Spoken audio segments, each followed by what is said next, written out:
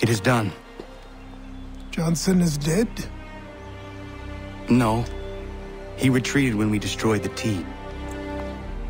Only to hatch some new scheme, I'm sure. You should have killed him. There was no need. Time will tell if you speak the truth. Ratonhnhaké:ton! Radun Hagedum! Kanen'tó:kon, why are you here? Has something happened? William Johnson has returned with all the money required to buy our land. He meets with the elders as we speak. I have begged him to resist, but I fear he shall have his way unless you intervene. How is this possible? We destroyed the tea. The Templars are nothing if not resourceful. You should have heeded my warning. Please, you have to stop him. Of course. Can you tell me where they're meeting?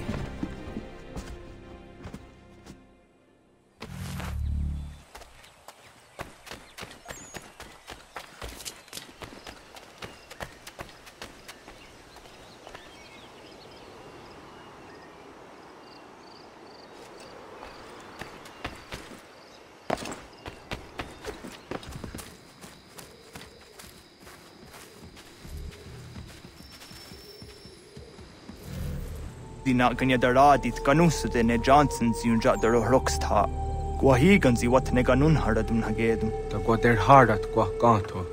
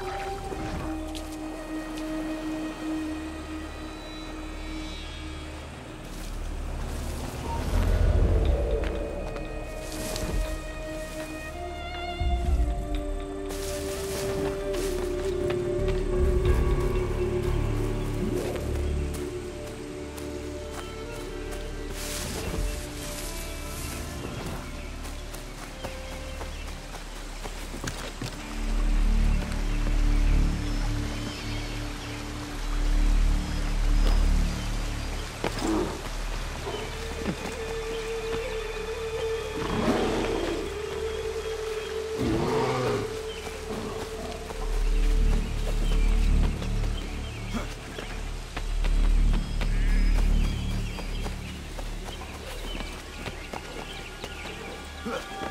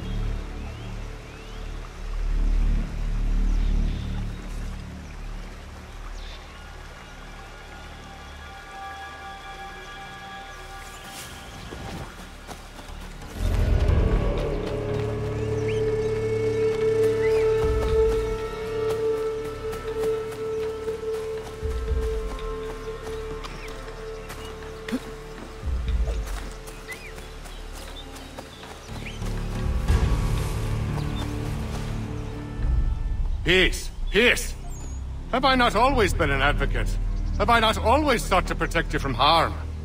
If you wish to protect us, then give us arms, muskets and horses that we might defend ourselves. War is not the answer. We remember, Stanwix. We remember you moved the borders. Even today your men dig up the land, showing no regard for those who live upon it. Your words are honeyed, but false. We are not here to negotiate, nor to sell. We are here to tell you and yours to leave these lands. So be it. I offered you an olive branch, and you knocked it from my hand. Perhaps you'll respond better to the sword. Are you threatening us? Yes.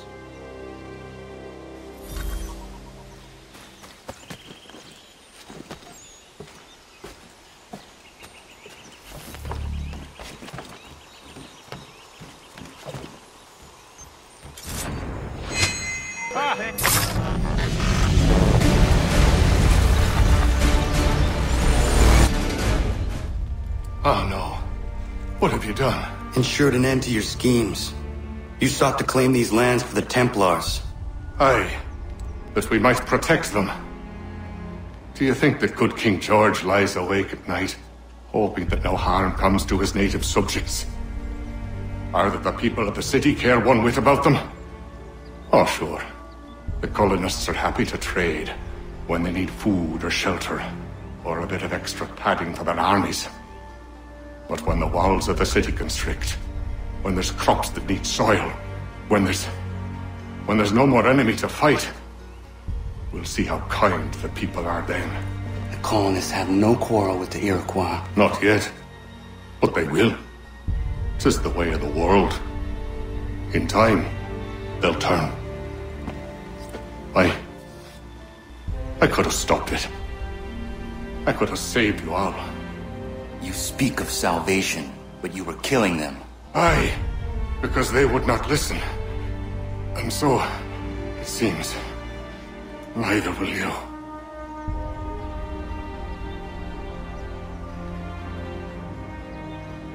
Ayawas ne yahte hagum sare, am dahyayu ne skanas izagum haje.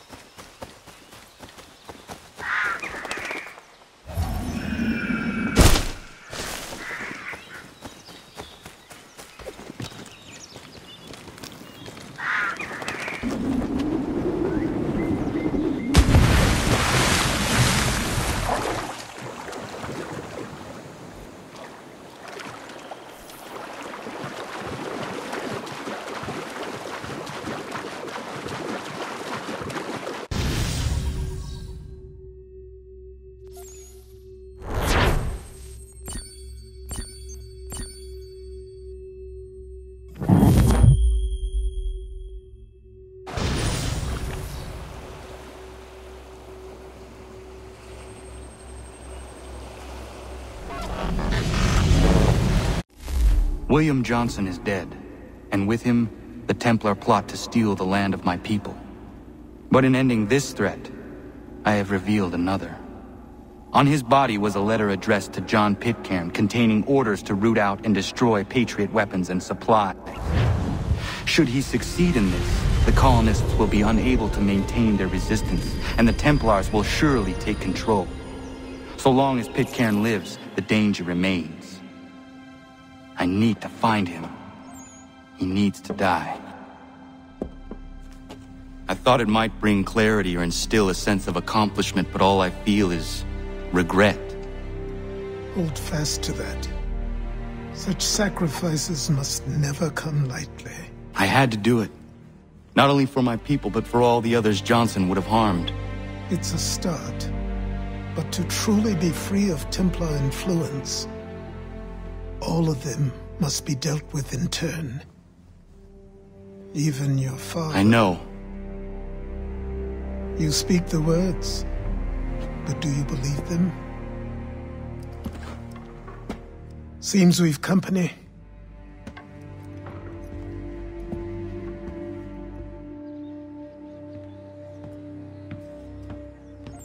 What is it? A request for aid from Paul Revere. Seems the Redcoats are up to something in Boston. Guess you made an impression on the Sons of Liberty. They mistake me for one of their own. Please tell Mr. Revere he has my sympathies, but I cannot help at present. You might wish to reconsider. John Pitcairn is mentioned by name. Where am I to go? Mr. Revere's house in Boston. If you'd like, I can